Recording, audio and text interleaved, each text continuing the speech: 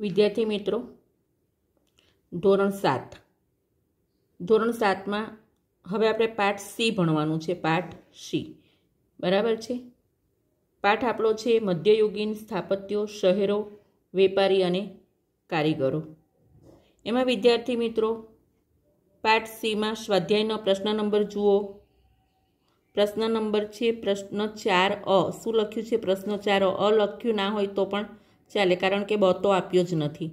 બરાબર છે ને? આમાં ટૂંકનોંધ આપી છે, ચાર ટૂંકનોંધ એ ક્યાં તો તમને ટૂંકનોંધ પૂછાય ક્યાં તો મુદ્દાસર કે સવિસ્તાર પ્રશ્નનો ઉત્તર લખો. પ્રથમ ટૂંકનોંધ છે તમારી પાડિયા કઈ ટૂંકનોંધ આપેલી છે? પાડિયા ચાલો વિદ્યાર્થી મિત્રો, એના માટે તમે પેજ નંબર ટ્વેન્ટી થ્રી કાઢો. Page number twenty three. જુઓ વિદ્યાર્થી મિત્રો પાડિયા સૌથી પહેલાં આપણે પાડિયાનું ચિત્ર જોઈએ. આપ્યું છે ને? બરાબર? કેવા ફાઇન આન્સર આપ્યા છે બુકમાં હં? સરસ અક્ષરે સારી નોટ બનાવજો અને તૈયાર કરજો. ગુજરાતમાં એક વિશિષ્ટ સ્થાપત્ય તરીકે પાળિયાનો સમાવેશ થાય છે. પાળિયાની સાથે કોઈ વીર ગાથાઓ જોડાયેલી હોય છે. પોઈન્ટ વાઇઝ લખવાનું. એક વાક્ય પૂરું થાય એટલે પોઈન્ટ બદલી નાખવાનો. બરાબર છે? મોટે ભાગે આવા યોદ્ધાઓના પાળિયા યુદ્ધ સ્થળ અથવા તેમના મૃત્યુના સ્થળે બાંધવામાં આવે છે. આ પાળિયાની વર્ષ, આ પાળિયાની વર્ષમાં તેની તિથિ પ્રમાણે પૂજા અર્ચના કરવામાં આવે છે. ગુજરાતમાં પાળિયાના શ્રેષ્ઠતમ ઉદાહરણોમાં જામનગર પાસે ભૂચર મોરીનો સૂરજ કુંવરબાનો પાડ્યો અને સોમનાથના મંદિર પાસે હમીરજી ગોહિલ પાળિયાનો સમાવેશ થાય છે. આ ટૂંકનો પૂરી થઈ. ચાલો સ્વાધ્યાય ખોલો. ચાલો, સ્વાધ્યાયમાં ટૂંકનોન નંબર બે. કઈ આપેલી છે ટૂંકનોન નંબર બે? મોઢેરાનું સૂર્ય મંદિર. એના માટે મોઢેરાનું સૂર્ય મંદિર, પેજ નંબર ટ્વેન્ટી વન કાઢો.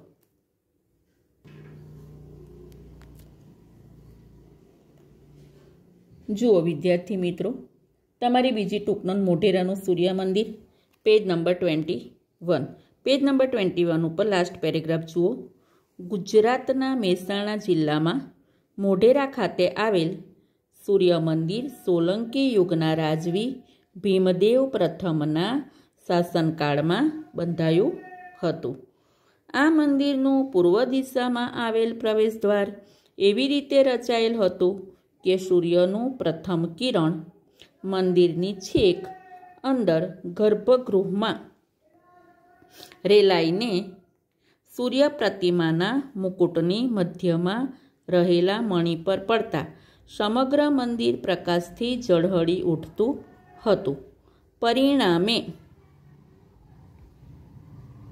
સમગ્ર વાતાવરણમાં જાણે કે દિવ્યતા પ્રગટતી હતી. આ મંદિરમાં સૂર્યની ચાર વિવિધ મૂર્તિઓ અંકિત થયેલી હતી. કેટલી? બાર. સોરી ચાર બોલાયું હોય તો વિદ્યાર્થી મિત્રો. આ મંદિરમાં સૂર્યની બાર વિવિધ મૂર્તિઓ અંકિત થયેલી હતી.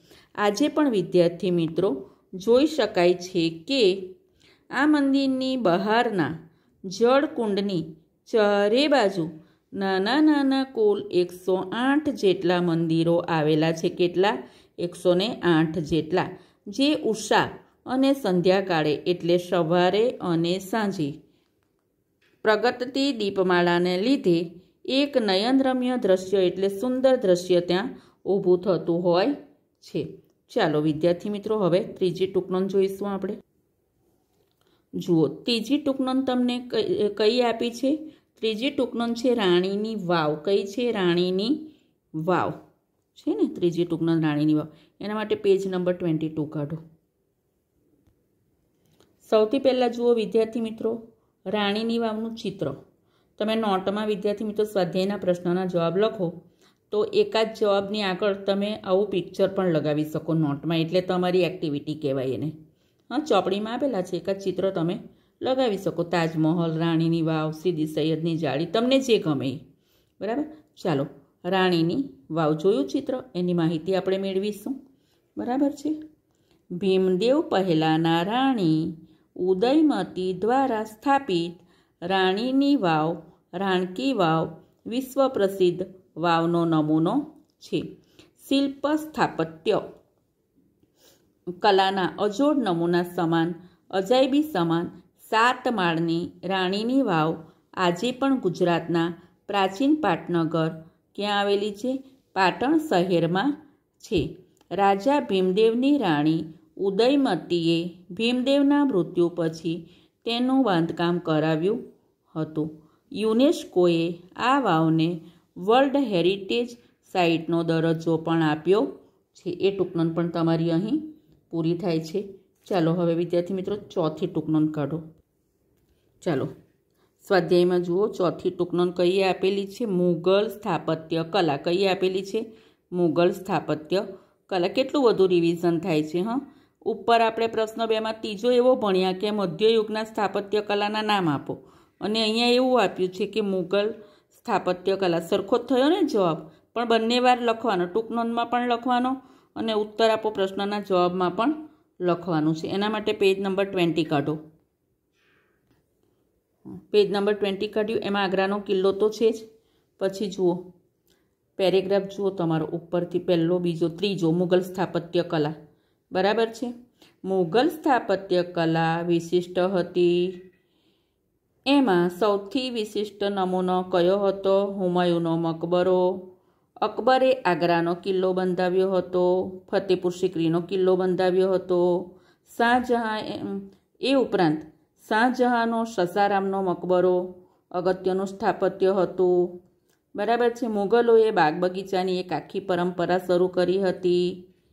કાશ્મીરનો નિષાદ બાગ, લાહોરનો શાલીમાર બાગ અને આગ્રાના આરામબાગનો સમાવેશ થાય છે. બરાબર, ખાલી જગ્યા પણ આપણે જોઈ. પછી છે, મુગલ સ્થાપત્યનું સર્વોચ્ચ શિખર, શાહજહાંએ બંધાવેલ આગ્રાના તાજમહેલમાં જોવા મળે છે. વિશ્વની સાત અજાયબીઓમાં સ્થાન ધરાવતા ઉત્તર પ્રદેશના આગ્રામાં યમુના નદીના કિનારે આવેલ તાજમહલનું નિર્માણ મુઘલ બાદશાહ શાહજહાંએ પોતાની બેગમ મુમતાઝ મહલની યાદમાં કરાવ્યું હતું.